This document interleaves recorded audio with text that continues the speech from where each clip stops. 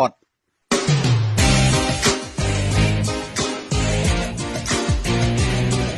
អស់លោកអ្នកស្ដាប់ជាទីមេត្រី នៅក្នុងការផ្សាយជាបន្តបន្ទាប់ទៅនេះលោកអ្នកនឹងបានស្ដាប់សេចក្តីរាយការណ៍មានដូចតទៅមួយគណៈបកប្រជាជនកម្ពុជា ប្រកាសធ្វើការកែតម្រង់ស្ដារលទ្ធភាពក្នុងការប្រកួតប្រជែងការបោះឆ្នោត2បទសម្ភាសន៍របស់ VOA ជាមួយលោក Brad Adams អំពីប្រទេសកម្ពុជានៅក្រោមការដឹកនាំ30ឆ្នាំរបស់លោកហ៊ុនសែន3អង្គការយុវសន្តិភាពរៀបចំអាពាហ៍ពិពាហ៍ឲ្យដល់គូស្វាមីភរិយានៅខេត្តកំពង់ឆ្នាំងដែលរបបខ្មែរក្រហមបានបង្ខំឲ្យរៀបការនៅក្នុងការផ្សាយ30នាទីចុងក្រោយលោកអ្នកនឹងបានស្ដាប់ព័ត៌មានអន្តរជាតិហើយនឹងសេចក្តីរាយការណ៍អំពីផែនការរបស់គណៈបកសាធារណរដ្ឋដើម្បីដំឡើងកេរ្តិ៍ឈ្មោះរបស់ខ្លួន នៅមុនការបោះឆ្នោតជ្រើសរើសប្រធានាធិបតីសហរដ្ឋអាមេរិកឆ្នាំ2016ហើយនឹងបទសម្ភាសន៍ភាគទី2របស់ VOA ជាមួយលោក Peter Hawkins នាយកគ្រប់គ្រងជាន់ខ្ពស់ផ្នែកបរិស្ថាន របស់ក្រុមហ៊ុន Megafast អំពីផលប៉ះពាល់ទៅនឹងការកសាងទំនប់វារីអគ្គិសនីដនសហុង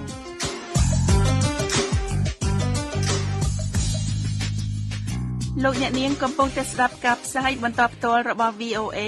ពីរដ្ឋធានី Washington នៅថ្ងៃនេះគណៈបកប្រជាជនកម្ពុជា បានប្រកាសធ្វើការកែតម្រង់ដាច់ខាត ដើម្បីស្ដារលទ្ធភាពក្នុងការប្រកួតប្រជែងការបោះឆ្នោតឡើងវិញ ក្នុងពេលជាមួយគ្នានេះដែរគណៈបកនេះបានទទួលស្គាល់ថា មានភាពអវិជ្ជមាន ក្នុងសង្គមជាច្រើនបានធ្វើឲ្យខ្លួនបាត់បង់ការគ្រប់គ្រង លោកគង់ស្ថានរិទ្ធនៃ VOA រាយការណ៍ជូនពីរាជធានីភ្នំពេញគណៈបកប្រជាជនកម្ពុជាដែលធ្លាក់ប្រជាប្រិយភាពបានបើកមហាសន្និបាតវិសាមញ្ញរយៈពេល3ថ្ងៃរបស់ខ្លួននៅថ្ងៃសុក្រនេះដោយប្រកាសធ្វើការកែតម្រង់នយោបាយដាច់ខាតមួយសម្រាប់ធានាទៅដល់ជ័យជំនះនៅក្នុងការបោះឆ្នោតលើកក្រោយស្របពេលជាមួយគ្នានេះលោកនាយករដ្ឋមន្ត្រីហ៊ុនសែនអនុប្រធានគណៈបកប្រជាជនបានប្រកាសភ្លាមៗថា នឹងមិនធ្វើការផ្លាស់ប្តូរប្រធានគណៈបកនោះទេបើទោះបីជាលោកជាស៊ីមដែលកំពុងតែកាន់តំណែងនេះកំពុងតែមានជំងឺធ្ងន់ហើយស្ថិតនៅក្រោមការព្យាបាលនៅប្រទេសវៀតណាមជាច្រើនថ្ងៃហើយក្តីលោកហេងសំរិនប្រធានកិត្តិយសគណៈបកប្រជាជនកម្ពុជាប្រកាសនៅក្នុងពិធីបើកមហាសន្និបាតវិសាមញ្ញថាការកែតម្រង់គណៈបកគឺជាបញ្ហាអាយុជីវិតអង្គមហាសន្និបាតរបស់យើងលើកនេះមានប្រធានបទសំខាន់ គឺការកែតម្រង់គឺជាអាយុជីវិតរបស់ជាតិនិងរបស់គណៈបកប្រជាជនកម្ពុជាគណៈបកប្រជាជនកម្ពុជាដែលកាន់អំណាចអស់រយៈពេលជាង3ទសវត្សរ៍មកហើយបានសម្ដែងឲ្យឃើញពីការធ្លាក់ប្រជាប្រិយភាពក្រោយពីការបោះឆ្នោតខែកក្កដាឆ្នាំ2013ហើយគណៈបកនេះបានបាត់បង់អាសនៈចំនួន22នៅក្នុងរដ្ឋសភាពលគឺបានធ្លាក់ចុះពី90អាសនៈ មកត្រឹម68អាសនៈវិញ បន្ទាប់ពីទទួលរងការរិះគន់ពីផលអវិជ្ជមានជាច្រើននៅក្នុងសង្គមតួលេខនេះបង្ហាញថាគណៈបកកណ្ដាលអំណាចបាត់បង់សម្លេងគាំទ្រជាង2លាន560,000នាក់នៅក្នុងការបោះឆ្នោតចុងក្រោយបើធៀបទៅនឹងការបោះឆ្នោតកាលពីឆ្នាំ2008លោកហេងសំរិនបច្ចុប្បន្នជាប្រធានរដ្ឋសភាដែរនោះទទូចឲ្យមានការវាយតម្លៃឲ្យបានប្រកបប្រជា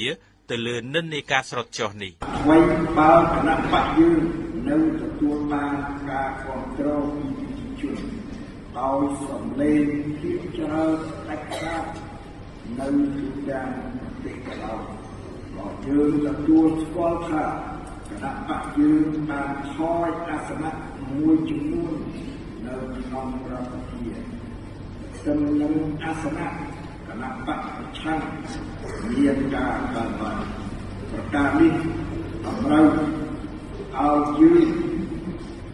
ត្រូវសិក្សាឲ្យតាមគ្រប់ជ្រុងជ្រោយអំពីមូលហេតុដែលនាំឲ្យកើតមានស្ថានភាពដូចនេះយោងតាមរបាយការណ៍ដែលដាក់ជូនមហាសន្និបាតវិសាមញ្ញរបស់គណៈបកប្រជាជនកម្ពុជា ដែល VOA សម្លេងសហរដ្ឋអាមេរិកជាខេមរៈភាសាទទួលបាន បង្ហាញពីការទទួលស្គាល់របស់គណៈបកកណ្ដាលអំណាចនេះថាខ្លួនមានចំណុចខ្សោយមួយចំនួន ដែលនាំឲ្យបាត់បង់ការគ្រប់គ្រងរបស់ម្ចាស់ឆ្នោតដូចជាការខ្វះចន្លោះនៅក្នុងការអនុវត្តគោលនយោបាយអំពើពុករលួយបកពួកនិយមនិងគ្រួសារនិយម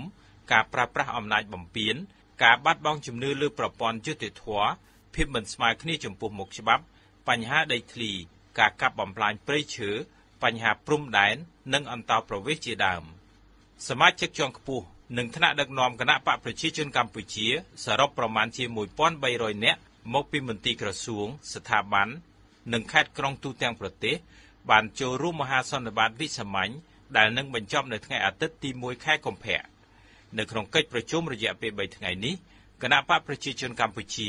នឹងត្រូវដាក់ផែនការយុទ្ធសាស្ត្ររយៈពេល5ឆ្នាំរបស់ខ្លួនសម្រាប់ការបោះឆ្នោតទៅមុខនិងបោះឆ្នោតបញ្ចូលក្រុមយុវជន នៅក្នុងគណៈកម្មការកណ្ដាលដែលជាក្បាលម៉ាស៊ីនដឹកនាំយ៉ាងសំខាន់របស់គណៈបកកណ្ដាលអំណាច ក្រមយុវជន ដែលបានធ្វើឲ្យមានការផ្លាស់ប្តូរលទ្ធផលបោះឆ្នោតយ៉ាងភ្ញាក់ផ្អើលរយៈពេលចុងក្រោយនេះពីរាជធានីភ្នំពេញខ្ញុំគង់សុថានរិទ្ធ VOA លោកអ្នកនាងកំពុងតែស្ដាប់ការផ្សាយរបស់ VOA សម្លេងសាររដ្ឋអាមេរិកពីរដ្ឋធានី Washington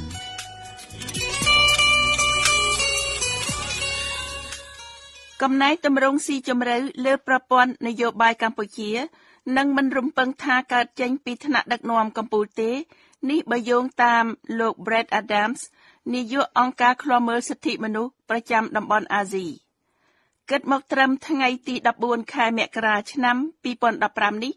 លោកនាយករដ្ឋមន្ត្រីហ៊ុនសែនបានដឹកនាំប្រទេសកម្ពុជារយៈពេល30ឆ្នាំគត់ក្នុងឱកាសខួប30ឆ្នាំនៃការគ្រប់គ្រងរបស់លោកហ៊ុនសែន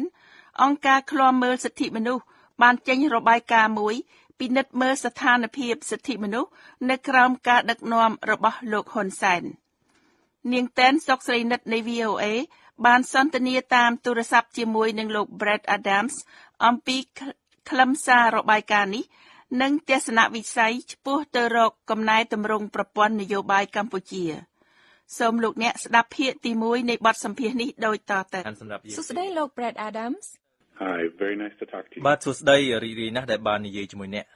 អង្គការឃ្លាំមើលសិទ្ធិមនុស្សទៅបានចេញរបាយការណ៍មួយដែលមានចំណងជើងថា30ឆ្នាំនៃលោកហ៊ុនសែនហើយមកត្រឹមថ្ងៃទី14ខែមករានេះគឺជាខួប30ឆ្នាំនៃការគ្រប់គ្រងរបស់លោកនាយករដ្ឋមន្ត្រីហ៊ុនសែនដូច្នេះតើលោកអាចពន្យល់បានទេថាតើរបាយការណ៍នេះធ្វើឡើងក្នុងគោលបំណងអ្វីខ្លះ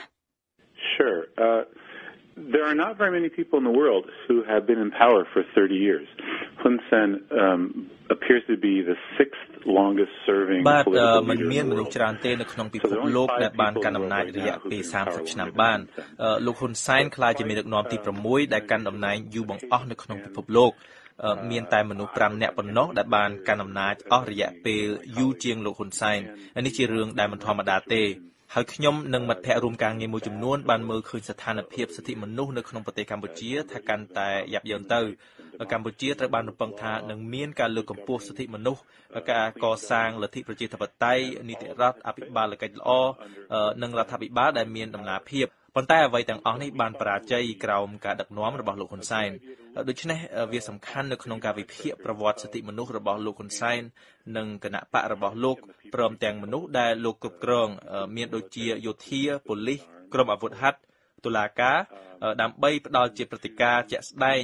និងការវិតម្លៃលើព្រឹត្តិការណ៍ទាំងនោះលោកបាននិយាយថាលោកបានពិនិត្យមើលប្រវត្តិសិទ្ធិមនុស្សក្រោមការដឹកនាំរបស់លោកហ៊ុនសែនដូច្នេះសូមលោករៀបរាប់ពីប្រវត្តិនេះបន្តិច Sure. I mean, we we we look at um, his time in power uh, and his life. Uh, we have a section on his his childhood, how he was brought up in Kampong Cham. បាទយើងបានមើលទាំងពេលលោកកាន់អំណាចនិងប្រវត្តិរបស់លោកហ៊ុនសែនអំពីកុមារភាពរបស់លោកនៅខេត្តកំពង់ចាមនិងអំឡុងពេលលោកធ្វើការឲ្យខ្មែរក្រហម និងការធ្វើដំណើររបស់លោកនៅក្នុងពិភពលោកក្នុងឋានៈជាប្រមុខដឹកនាំរបស់ប្រទេសកម្ពុជាលោកគឺជាអតីតអ្នកតស៊ូប្រយុទ្ធឲ្យខ្មែរក្រហមលោកធ្លាប់ធ្វើជាមេបញ្ជាការខ្មែរក្រហមម្នាក់នៅក្នុងខេត្តកំពង់ចាមដែលមានហេតុការណ៍អាក្រក់មួយចំនួនបានកើតឡើងដែលយើងចាត់ទុកថាជាបទឧក្រិដ្ឋប្រឆាំងនឹងមនុស្សជាតិ ដោយដែលសាលាក្តីខ្មែរក្រហមបានចោទប្រកាន់មេដឹកនាំខ្មែរក្រហមលោកហ៊ុនសែនធ្លាប់មានឋានន្តរស័ក្តិមធ្យមមួយនៅតំបន់មួយនៅក្នុងខេត្តកំពង់ចាមដែលនៅទីនោះមានការរំលោភសិទ្ធិមនុស្សយ៉ាងធ្ងន់ធ្ងររួមមានការសម្លាប់យ៉ាងរង្គាលមកលើប្រជាជនស៊ីវិលនិងជនជាតិភាគតិចចាមខ្ញុំគិតថាការស្រាវជ្រាវនេះអាចនឹងមានការចាប់អារម្មណ៍ច្រើនពីសំណាក់ប្រជាជនកម្ពុជាហើយយើងមិនចោទប្រកាន់លោកហ៊ុនសែនពីបទឧក្រិដ្ឋនៅក្នុងរបបខ្មែរក្រហមទេប៉ុន្តែលោកមានតួនាទីជាអាជ្ញាធរនៅកន្លែងដែលមានហេតុការណ៍អាក្រក់បានកើតឡើងដូច្នេះវាគួរតែមានការស៊ើបអង្កេតបន្ថែមរបាយការណ៍នោះក៏និយាយពីការជ្រៀតជ្រែករបស់លោកហ៊ុនសែននៅក្នុងការងាររបស់សាលាក្តីខ្មែរក្រហមហើយលោកបាននិយាយជាសាធារណៈថានឹងមិនមានការកាត់ក្តីបន្ថែមទៀតទេក្រៅពីនួនជានិងខៀវសំផនដែលកំពុងតែត្រូវកាត់ទោសហើយយើងយល់ថាវាមិនត្រឹមត្រូវទេវាគួរតែមានផុសតាងកំណត់ថាអ្នកណានឹងត្រូវនាំមកកាត់ទោស ផលវិបាកមួយគឺថាលោកហ៊ុនសែនបានរារាំងការស៊ើបអង្កេតនិងការកាត់ក្តីបន្ថែមនិងគ្មានការស៊ើបអង្កេតអំពីអ្វីដែលកើតឡើងនៅខេត្តកំពង់ចាមដែលលោកហ៊ុនសែនបម្រើទ័ពនៅទីនោះនិងតំបន់ភៀកខាងកើតដែលមានលោកហេងសំរិននិងជាស៊ីមបានបម្រើទ័ពនៅទីនោះក្នុងអំឡុងរបបខ្មែរក្រហមហើយមានការចោទប្រកាន់មកលើលោកហេងសំរិននិងលោកជាស៊ីមនៅក្នុងការទទួលខុសត្រូវលើការរំលោភសិទ្ធិមនុស្សយ៉ាងធ្ងន់ធ្ងរនៅក្នុងអំឡុងរបបខ្មែរក្រហមអស់រយៈពេលជាយូរណាស់មកហើយ បាទរបាយការណ៍ក៏ពិនិត្យមើលគម្រោងក5របស់រដ្ឋាភិបាលកម្ពុជា នៅពេលដែលលោកហ៊ុនសែនទើបតែបានឡើងជានាយករដ្ឋមន្ត្រីនៅក្នុងអំឡុងឆ្នាំ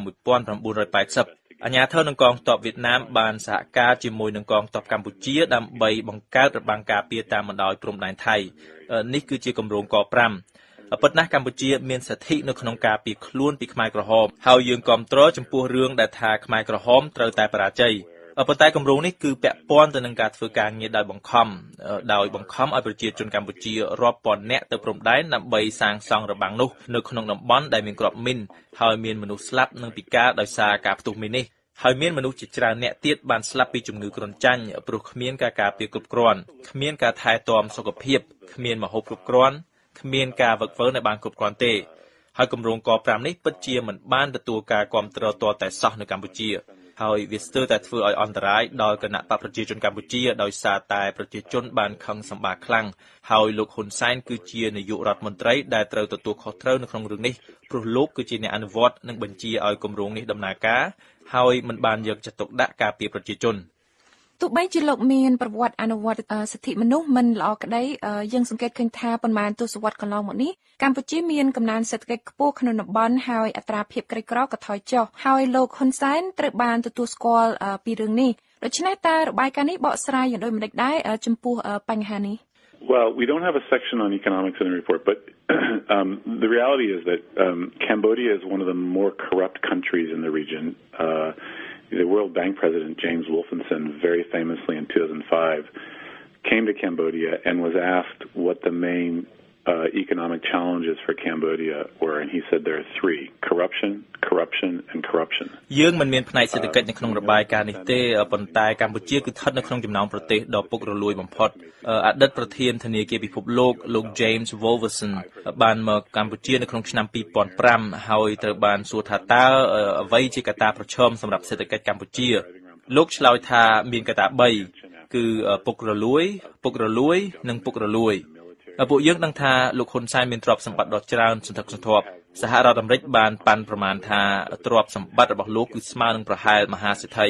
មនុស្សដែលនៅក្បែរលោកក៏បានក្លាយជាអ្នកមានទ្រព្យស្ដុកស្ដំប្រសិនបើអ្នកបើកឡានជុំវិញនៅក្នុងទីក្រុងភ្នំពេញអ្នកនឹងឃើញវិឡាដ៏ធំបន្តទុយគ្នារបស់អ្នកនៅក្នុងជួររដ្ឋាភិបាលក្នុងយោធាឬមួយនៅក្នុងជួរនគរបាលដែលមានប្រាក់ខែតិចតួច សំណួរសួរថាតើពួកគេបានលុយមកពីទីណាដើម្បីសាងសង់វីឡាដ៏ធំនិងឡានទំនើបលុយទៅដើរលេងបរទេសចម្លើយគឺថារដ្ឋាភិបាលដែលដឹកនាំដោយលោកហ៊ុនសែនគឺពុករលួយខ្លាំងឥឡូវសេដ្ឋកិច្ចកម្ពុជាបានរីកចម្រើនសំណួរសួរថាតើដោយសារតែគោលនយោបាយរបស់រាជរដ្ឋាភិបាលកម្ពុជាឬមិនមែនខ្ញុំគិតថាមានផុសតាំងច្រើនណាស់ដែលបង្ហាញថាមិនមែនដោយសារគោលនយោបាយរដ្ឋាភិបាលទេហើយដោយសារតែអំពើពុករលួយទើបបានជាឧបសគ្គខាងទីផ្សារសេដ្ឋកិច្ចការងាររបស់កម្ពុជាកាន់តែកើនឡើង កម្ពុជាពិតជាសំណាងដែលស្ថិតនៅក្នុងតំបន់ដ៏ល្អមួយដែលទំហំសេដ្ឋកិច្ចរីករូតលាស់ខ្លាំងអមជាមួយនឹងសេដ្ឋកិច្ចចិននិងប្រទេសមានអំណាចសេដ្ឋកិច្ចក្នុងតំបន់ផ្សេងផ្សេងទៀតក៏ប៉ុន្តែកំណើនសេដ្ឋកិច្ចនោះមិនបានជ្រាបដល់អ្នកក្រីក្រកម្ពុជាទេប្រជាជនក្រីក្រនៅតែក្រ មានអ្នកមិនមានអាហារហូបចុកគ្រប់គ្រាន់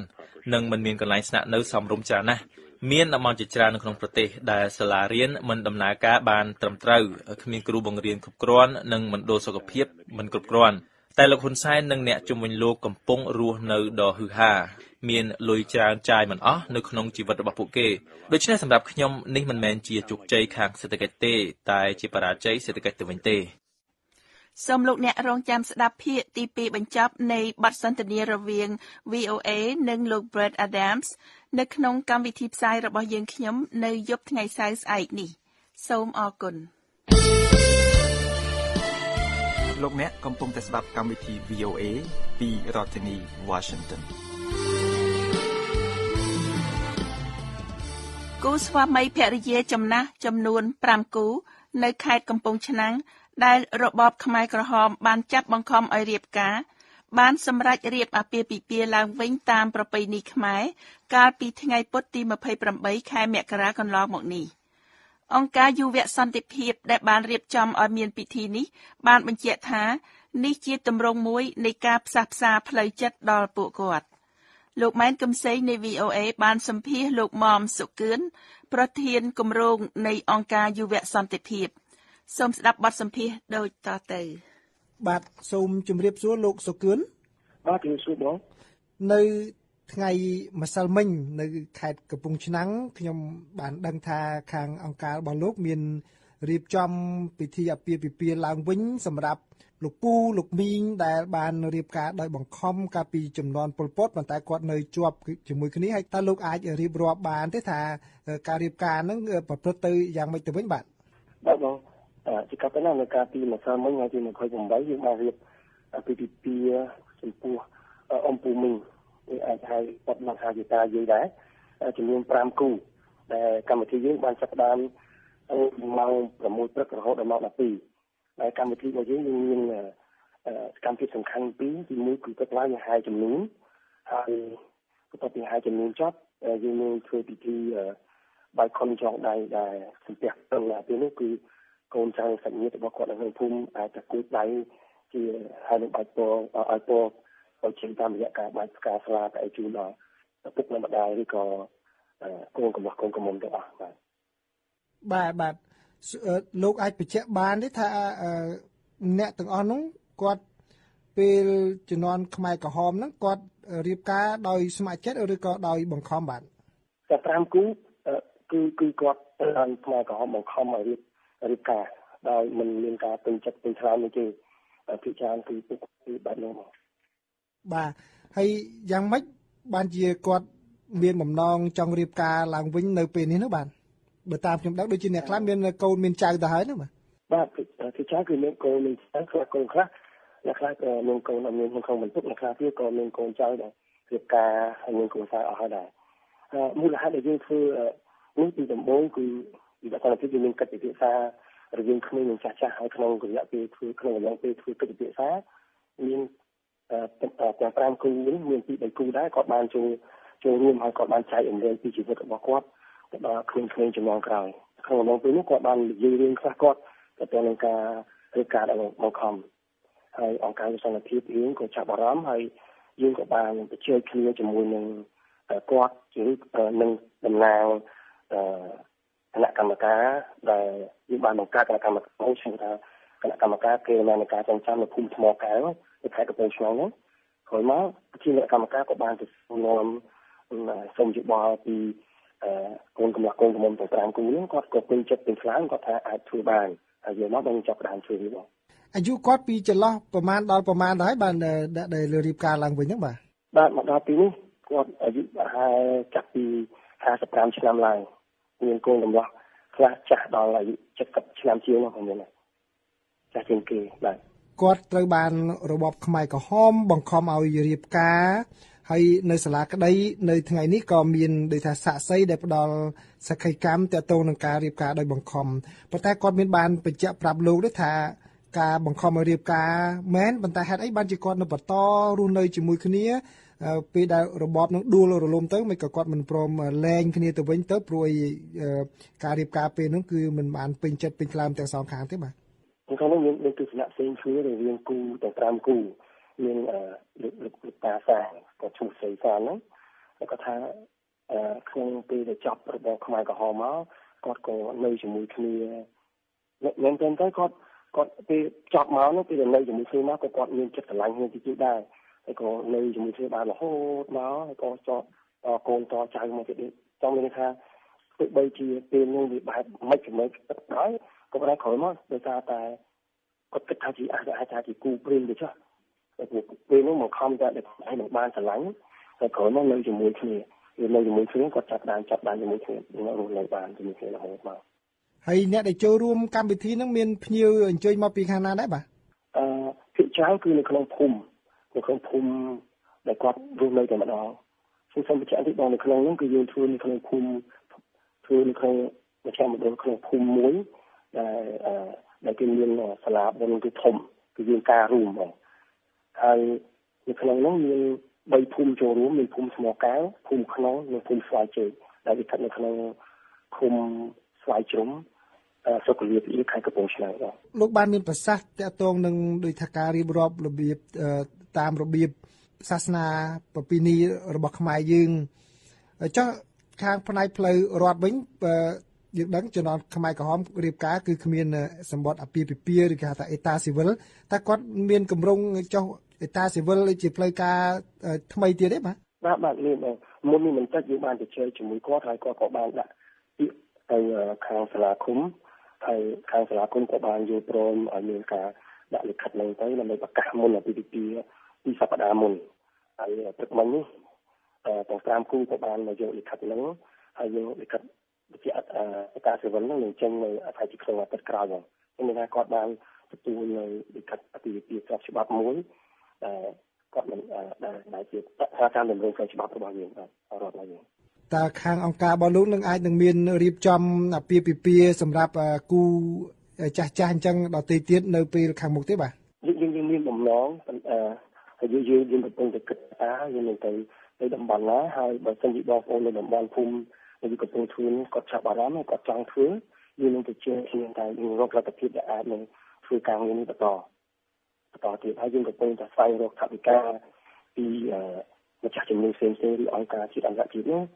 យ៉ាងសកម្មជនទាំងអស់អាចជួយជួយបានយ៉ាងណាក្រោយពីយើងបានធ្វើឲ្យនេះជាគំរូដ៏ល្អមួយសម្រាប់កូនចៅជំនាន់ក្រោយតែគាត់បានថាថារបៀបនៃការរៀបចំពីមុននៅឥឡូវនេះយ៉ាងម៉េចជាពិសេសនេះយើងថាកូនកម្លោះកូនកម្លោះគាត់សប្បាយចិត្តគាត់ថា នេះជាជារឿងល្អរបស់សហជីវិតរបស់គាត់ហើយបាទសូមអរគុណលោកសុគឿនច្រើនដែលបានផ្ដល់បទសម្ភាសន៍ដល់ VOA បាទសូមជម្រាបលាលោកបាទបាទបាទជម្រាបលាបង